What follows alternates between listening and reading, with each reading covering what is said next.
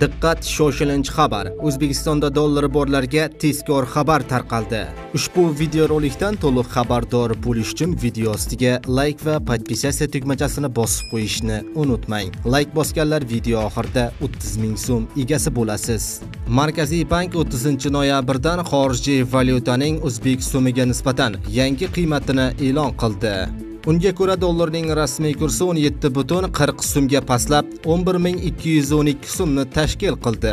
Rossiya rubli esa 1.20 so'mga pastlab 183 so'mi 62 tiyin bo'ldi.